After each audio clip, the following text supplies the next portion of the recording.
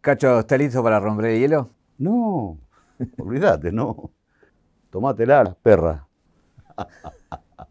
Cuando vos quieras. Le quiero hacer una pregunta que hace mucho quería hacerle. Sí. ¿Qué quiere la chola, Cacho?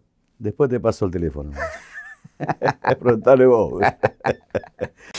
Cuando eras pibe, ¿con, con quién querías ser? Y me gustaría haber sido canto- cantando, ¿no?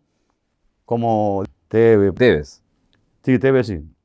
Es un cantor tremendo. Alto cantante de tango. Me gusta, va, me gusta el estilo de él, ¿no?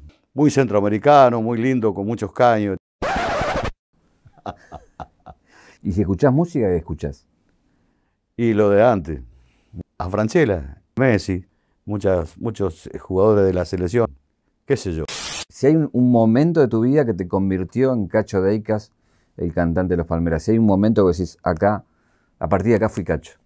Una vuelta estaba en la, puerta de mi casa y pasó Pablito Lescano cantando un, un tema de nosotros, ¿viste?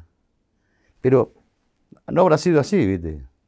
Tenía muchos caños. Lo sacó el tipo un finito. ¿Te diste cuenta que estabas frente a un fino? ¿O te sorprendió? Por ahí vos podés tener la intuición de que puede ser un finito. Lo miró, lo, lo concibió enseguida. Esto es lo que me gusta decir. Y, y entablamos una buena, una buena amistad con,